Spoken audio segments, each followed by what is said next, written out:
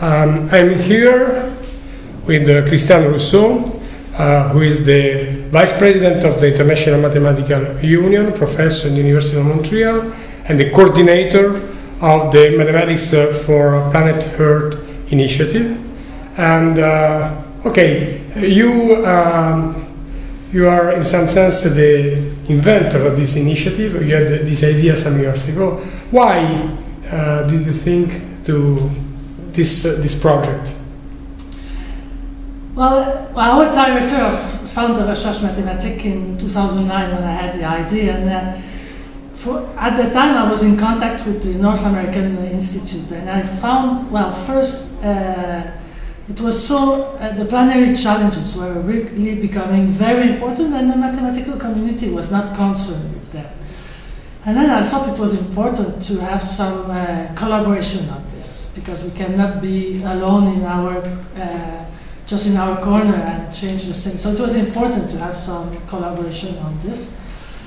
And maybe I'm a dreamer also, so I, I always like to do some uh, popularization of mathematics. And uh, when the kids in school uh, say, well, what is mathematics useful for? For me, it's one of the most important questions they're asking. So this deserves uh, answers, and I could say good, real answers. They the, the public or the people in the school, they like to make the link between uh, mathematics and, and uh, real life and, uh, and the challenges for citizens. Where is the world going?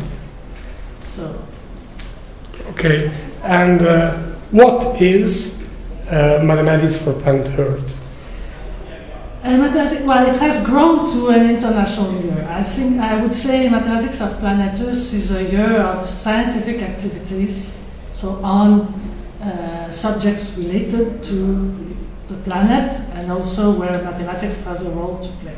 It's also a year of outreach activities for the public, so we are having uh, public lectures, uh, material for the schools, activities in the schools, so that, uh, and this, uh, in fact, all the material that's prepared for the school or for, or for enriching the curriculum. These are things that will stay past 2030. So there will be a legacy with enriching the, uh, the spectrum of, of, applications of mathematics we are presenting to uh, young people. Okay, could you resume in a few words uh, what are the main themes of mathematics of planet Earth?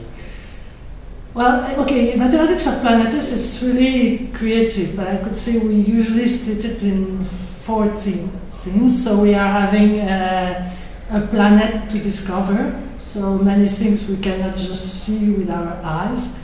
And I like to say that, okay, we put, uh, we have uh, mathematicians they can collect numbers or, or uh, find numbers in databases and then what do these numbers mean? So then you just put your mathematical glasses and you say oh and I can see how is the interior of the earth or things like that. So we discover our planet. It has an interior it has uh, oceans it has atmosphere it has well something that's uh, well studied in Italy. You have all the planetary motions and they have some influence on the uh, climate of the Earth depending uh, how the orbit of the Earth uh, changes. So this is for the first uh, theme. So the second theme is that the planet is uh, inhabited by life. So uh, we are having all the interaction of the species, ecology, ecosystems, the biodiversity.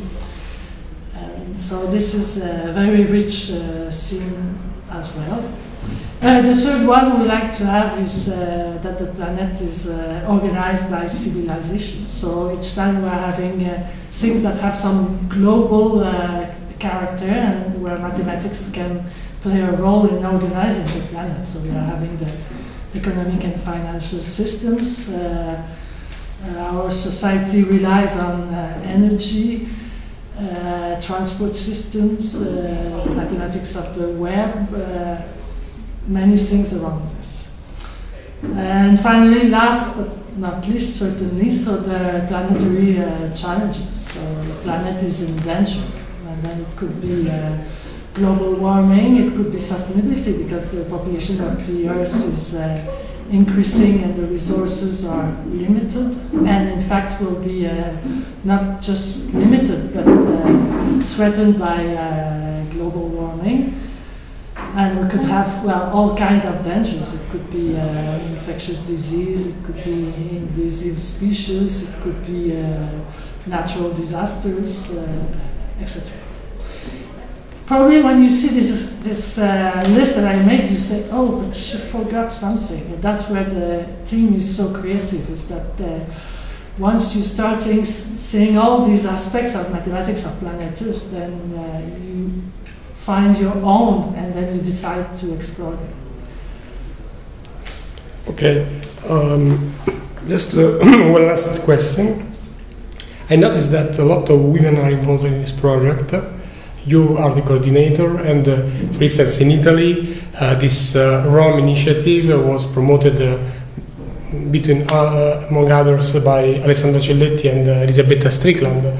So, it is, is it by chance that this big involvement of women in this project?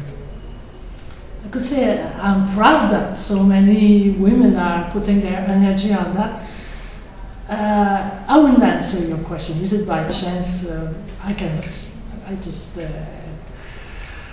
it occurred like that, and we are very happy to have. Uh, certainly, the success of mathematics of planet comes from the fact that uh, a lot of people got enthusiastic and decided to work with it. Because I had the idea, but I couldn't have done it myself. It's, uh, it, it, works with well, the way it's organized, we work with partners, and partners commit to organize events for mathematics of planet Earth. And we had a lot of partners that would commit and organize things and that got excited. And there are activities all around the world. There are some uh, uh, weeks uh, for education in some countries with mathematics of planet Earth. And here in Italy, where you are having uh, uh, events. And uh, what is important with the workshop we are now having in Rome is that you have some uh, young people that come to the, to the workshop. And uh, one hope with the mathematics of planet Earth is to have uh, young researchers becoming interested in uh, the planetary issues. Okay, uh, thank you very much uh, and good luck for the following of this initiative. Thank you very much.